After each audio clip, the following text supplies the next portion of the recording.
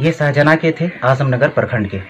मुफ्ती मती, मुफ्ती मतीउर रहमान साहब, जो मुनासर अहल सुन्नत हैं, और इस्लाम के जाने माने चर्चित आदमी है, जो जिनकी शख्सियत आज के इस्लामी ूम की दुनिया में हर आदमी पहचानता है देश विदेश हर जगह उनकी चर्चा है। उनसे मालूम करते हैं कि मुफ्ती आल मुस्तफ़ा साहब, जो हमारे बीच अब नहीं रहे, इसकी वजह से ूम इस्लामिया में क्या फ़र्क पड़ सकता है? नहमदहू व नसली व नसलिम अला हबीबिल आवाज़ से अरसे दराज की बात है जब सीमांचल के सबसे बड़े आलिम दीन हज़रत मौलाना ग़ुलाम यासीन साहब चिमनी बाज़ार शरीफ बहयात थे। उनके आखिरी दौर में मैं उनकी खिदमत में जब हाजिर हुआ तो वो अपनी जगह से उठ खड़े हुए और मैं दस्तबोस हुआ। उसके बाद उन्होंने अपने गद्दे, अपनी मसनत की तरफ़ इशारा किया और फरमाया कि यहाँ तशरीफ़ रखिए। मैंने हाथ जोड़ के अर्ज़ किया कि हज़रत वो आपकी जगह है, मेरी जगह नहीं, मेरी जगह तो यहाँ आपके कदमों में है। उन्होंने दोबारा फरमाया कि नहीं, यहाँ बैठिए अब उनका हुक्म था, मैं आया और बैठने के करीब होकर खड़ा हो गया और कहा, हज़रत, हुक्म की तामील हो गई। आप अपनी मसनद पर तशरीफ़ फरमा हूँ, मुझे यहाँ बैठने की इजाज़त दें।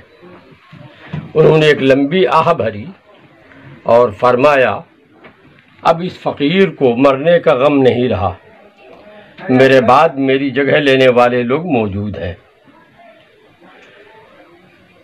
मैं आज जिस आलम पिराना साली और गुनागू अमराज के साथ गुज़र रहा हूँ, मेरे लिए भी ये मसला था कि मैं किसको छोड़े जाऊँ।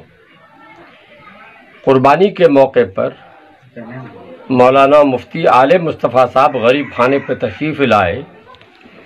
उनसे बड़ी देर तक इल्मी बातें होती रहीं, क़याम भी उन्होंने वहीं फरमाया रात दूसरे दिन फिर वो किशनगंज के लिए रवाना हुए।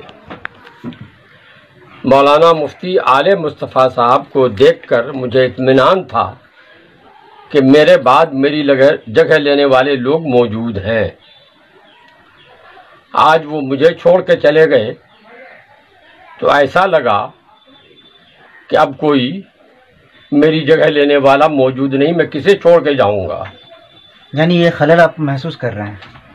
आप मेरी बात से मेरे जुमलों से समझिए कि कितना बड़ा खला हो गया है। हज़रत मौलाना आले मुस्तफ़ा साहब की इब्तदाई तालीम से लेकर इंतहा तक तकरीबन मेरे पास हुई। और फिर वो मुबारकपुर गए, वहाँ से फारिग हुए। वहीं से मुफ्ती का कोर्स किया और मुझसे बराबर रबता रखे रहा। मेरे जितने शागिर्द आज हैं, उन तमाम में, ख़ासकर इल्म फ़ा में, कोई उसका मद्द मुकाबिल नहीं था। उनके जाने से ये इल्म फ़ा का जो सरमाया है वो अहल सुन्नत से गुम हो गया।